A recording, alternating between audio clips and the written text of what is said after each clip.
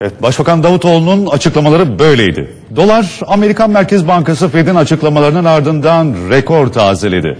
Dolar Türk Lirası paritesi 2.4182 ile tarihi zirveyi gördü. Amerikan Merkez Bankası'nın ekonomik aktivitede güçlü toparlanmaya vurgu yapmasıyla dolar tarihi zirvesini yeniledi. Dolar Türk Lirası karşısında 2.4182'ye kadar yükselerek rekor tazeledi.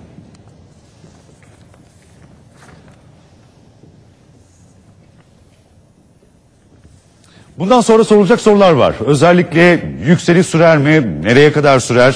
İşin uzmanına soralım. Telefon hattımızda bulunan ALB Menkul Değerler Araştırma Uzmanı Sayın Volkan Kuğucuk'la konuyu değerlendirelim. Efendim hoş geldiniz. Hoş bulduk. Merhabalar, iyi yayınlar diliyorum. Teşekkürler. Sayın Kuğucuk, dolardaki yükselişin nedeni nedir? Bir de sizden dinleyelim.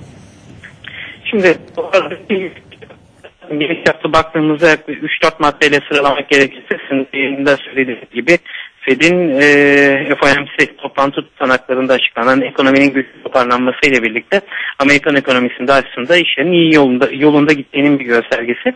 Ve e, Fed e, özellikle faiz artırım konusunda sabırlı davranarak Nisan ayına tekrar Nisan sonrasını tekrar işaret etti. Bu birinci etken. İkinci etken de e, özellikle Merkez Bankası'nın e, Ocak ayı faizini e, düşüşünü gördükten sonra olağanüstü toplantı kararı alarak e, faizleri indirebilir indirebilirim yönündeki açıklamaları. Diğer taraftan petrol fiyatlarındaki gerileme ile birlikte Rusya'da e, Rusya ekonomisinde oluşabilecek e, çöküşler ve buna bağlı olarak son e, madde ise Yunanistan'ın e, yeni e, hükümetinin Avrupa Birliği konusundaki tutum ve davranışlarındaki belirsizlik.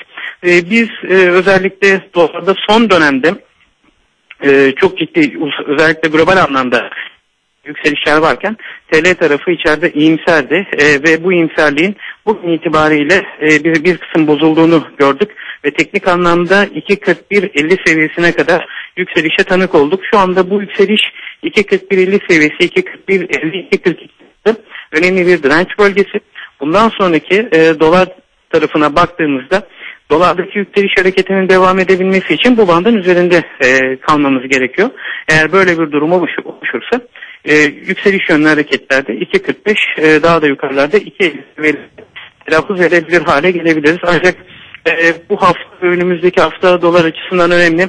Şayet dolar 2.42 bandının üzerinde hareket edemezse muhtemelen yeni haftada e, bir miktar geri çekilmeyle e, haftaya devam edebilir. Geri çekilmede de Peki, muhtemelen e, 2.38 seviyelerine kadar düşüş görebilir. Yükseliş yönünde bir beklenti var mı? Sizin cephenizden baktığınız zaman teknik açıdan nasıl bir beklenti var şu anda? Şu anda özellikle e, dolar TL tarafına baktığımızda 2.41-50 seviyesine kadar e, olan hareket açıkçası beklenti dahilindeydi ve bu hareketin e, tamamlandığını e, gördük bugün itibariyle.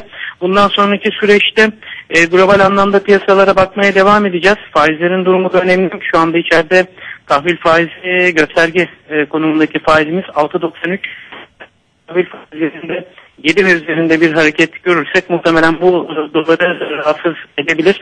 İçeride ise şu anda e, endekse BIST düze baktığımız zaman 89 bin seviyelerindeyiz. E, tam anlamıyla bir kar satışlarının bu noktada etkili olduğunu görüyoruz. Eğer endeksteki geri çekilme yani BIST geri çekilme devam eder ve buna bağlı olarak faizlerdeki yukarı harekette e, birkaç zamandan beri içeride yaşadığımız iyimserlik e, son bulursa muhtemelen dolar TL'deki yukarı hareket 2.45 seviyelerine kadar devam edebilir gibi görünüyor. Ama şu an itibariyle e, biz e, yeni haftaya başlarken 2.42-2.41 bandının üzerinde hareketin oluşup oluşmayacağına bakacağız. Çok teşekkürler Sayın Kuğucuk. Ben teşekkür ediyorum. İyi yayınlar diliyorum. Sağ olun efendim. Şimdi Beştepe'ye Cumhurbaşkanı